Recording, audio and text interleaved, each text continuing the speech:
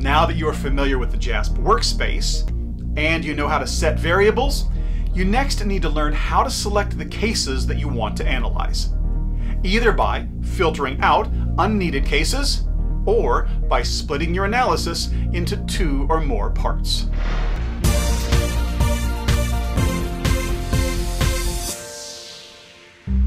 For this example, we will be using the JASP data file called kitchen rolls. Click on the main menu icon, open Data Library, and choose t-tests. Select the version of the kitchen rolls dataset with the JASP icon in the corner. So you may be wondering about these kitchen rolls. Remember that JASP was created in Amsterdam, and kitchen rolls is what the Dutch call paper towels. They call toilet paper bathroom rolls. And they call cinnamon rolls kaneelbrotta. Or they would if the Dutch actually had cinnamon rolls. I try to stay away from the cinnamon rolls. Don't need any more fat rolls.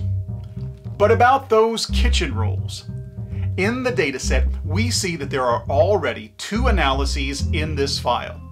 A frequentist, or traditional independent samples t-test, and a Bayesian independent samples t-test. Above that is a description of the data in this file. If you would like to explore Bayesian statistics a little more, I'd encourage you to open various datasets and read the notes for the Bayesian and frequentist approaches. For now, however, I want to clear out these analyses so that it will be easier for you to see the results in our next example. Click on the red X to delete anything that you do not need. And now we will look at the data.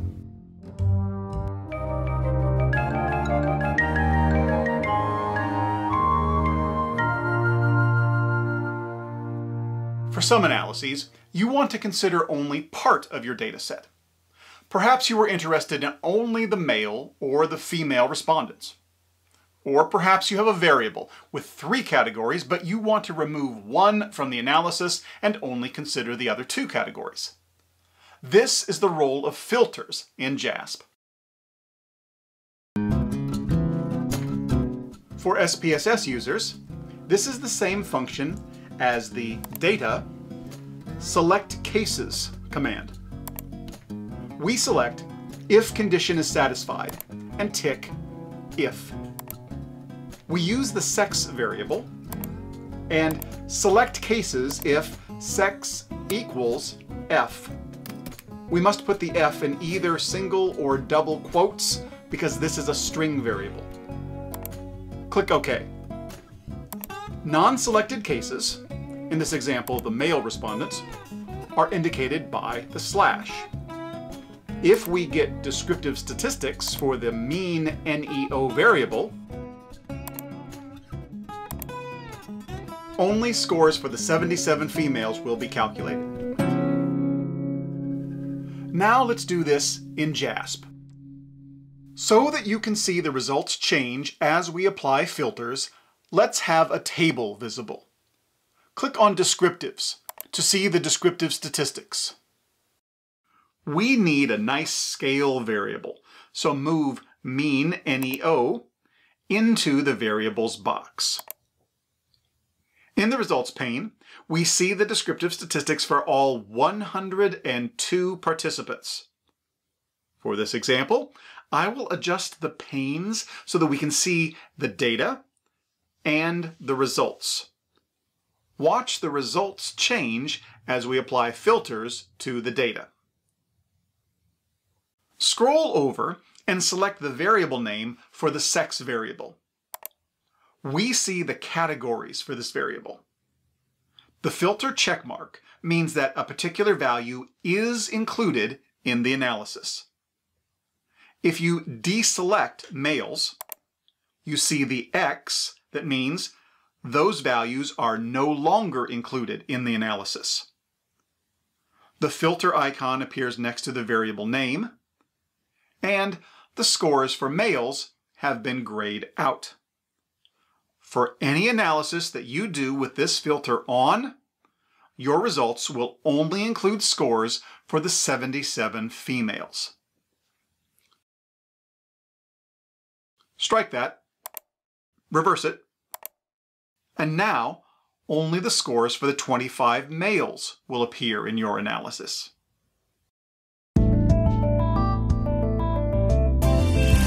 Can also filter using the pass-through filter tool. Begin by examining the condition variable. Now this research was done under four conditions. Perhaps I want to consider only condition three, ignoring all others. Click on the funnel to open the pass-through filter. By dragging and clicking, I create the formula condition equals 3 tick the Apply Pass-Through Filter bar. Here are descriptive statistics for the nine males from condition 3.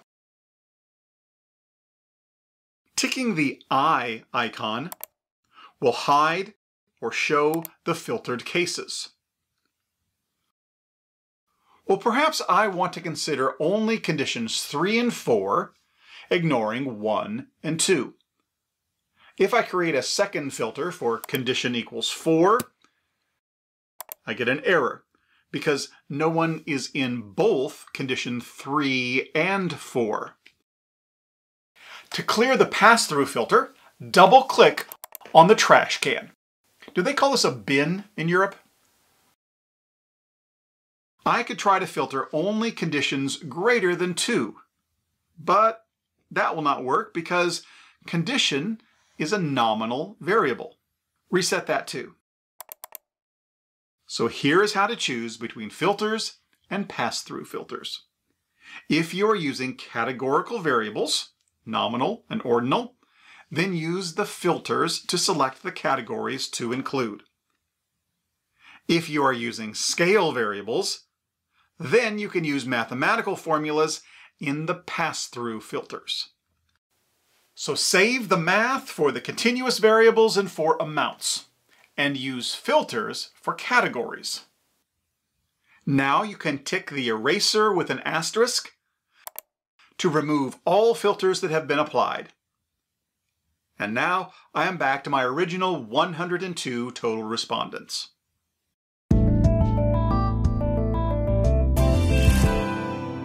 We used a filter to select only males or only females in the data. But what if we wanted to separate the male and female scores, but still see them side by side?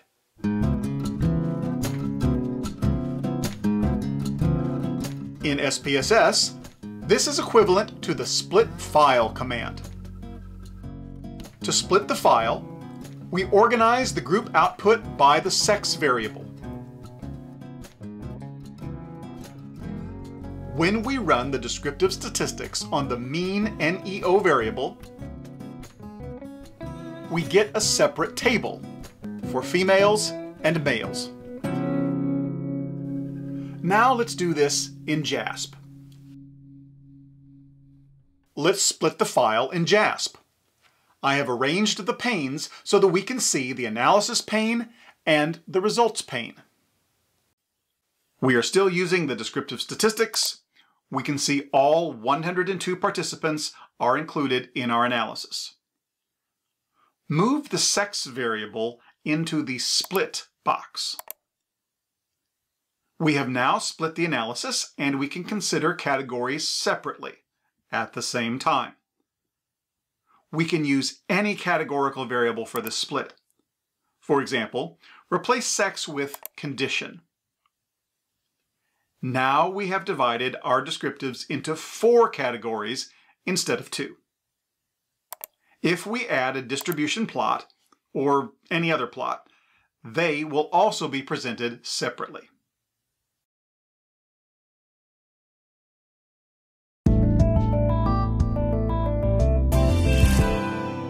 I want to show you an excellent way to use filters to specify groups. In the future, we are going to learn about an independent samples t-test, which tests the mean of two groups. Now this type of t-test requires only two groups. Not one, not three or more, only two.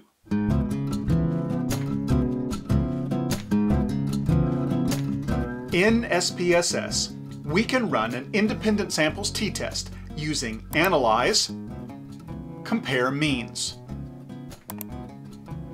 We will use the mean NEO as our scale level dependent variable and condition as the independent variable or factor. The condition variable has four levels, but we can specify that we only want to compare groups 1 and 4. Remember that the t-test can only use two groups. Let's try doing an independent samples t-test in JASP. We will use the same mean NEO as our dependent variable and use the nominal variable condition for the groups. We get an error message about there being more than two groups. Can you guess why?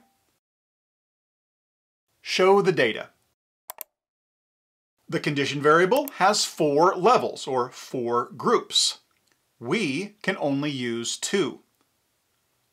If we want to compare only groups 1 and 4, filter out groups 2 and 3. Now return to our t-test. The t-test can now run because we only have two groups in our nominal variable. If you have followed these first four videos, you are now familiar with the JASP workspace. You know how to set variables, and you know how to do some basic data management. Our next task is to learn how to create new variables for the analyses that we will be doing in JASP.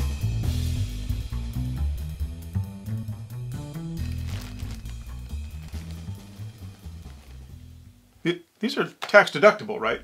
I mean, I, I used them for the video, so I can I can write this off. I need to call that legal eagle guy.